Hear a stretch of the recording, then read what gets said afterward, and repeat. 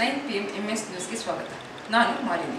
ಸಮ್ಮಿಶ್ರ ಸರ್ಕಾರ ಸರಿಯಾಗಿ ನಡೆಯಲಿದೆ ಸಮ್ಮಿಶ್ರ ಸರ್ಕಾರದ ಜನಪ್ರತಿನಿಧಿಗಳು ಒಗ್ಗಟ್ಟಾಗಿ ಮುಂದುವರಿಯಬಲ್ಲರೆ ಗೊತ್ತಿಲ್ಲ.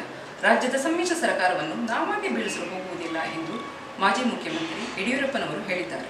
ಜೆಡಿಎಸ್ ಕಾಂಗ್ರೆಸ್ನ ದೋಸ್ತಿ ಸಮ್ಮಿಶ್ರ ಸರ್ಕಾರ ಐದು ವರ್ಷ ಸಂಪೂರ್ಣಗೊಳಿಸಲಿದೆ ಎಂದು ಉಪಮುಖ್ಯಮಂತ್ರಿ ಡಾಕ್ಟರ್ ಜಿ. ಪರಮೇಶ್ವರ್ ತಿಳಿಸಿದರು. ಜನರ ಸಮಸ್ಯೆಗಳನ್ನು ಆಲಿಸಲು ಜನಪ್ರತಿನಿಧಿಗಳಿಗೆ ಹಾಗೂ ಸಚಿವರಿಗೆ ರಾಜ್ಯದ ಜನರ ಒಕ್ಕೊರೆಯಿಂದ ಮನವಿ.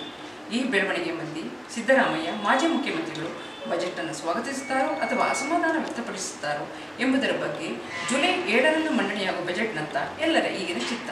ಇದೇ ಹೊತ್ತಿನ ವಿಶೇಷ. ಮುಂದಿನ ನ್ಯೂಸ್ಗಾಗಿ ಕಾಯುತ್ತೀರಿ. MS news